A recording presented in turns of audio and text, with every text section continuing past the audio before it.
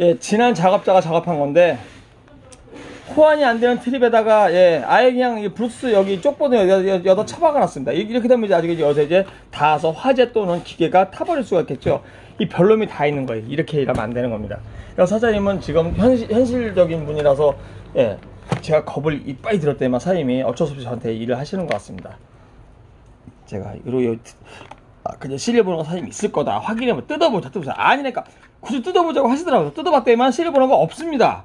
예. 사장님이 제말왜안 듣시는 거죠? 예? 기분 나쁘게. 그리고 여기 보면은 예, 이렇게 어우 예, 실려 번호가 없어요. 그리고 이 일을 일을 예. 그리고 중요한 게 뭐냐면 이 고수는 제가 또 운동 고수 아닙니까? 제가 이제 작업을 8인치로 할 거예요.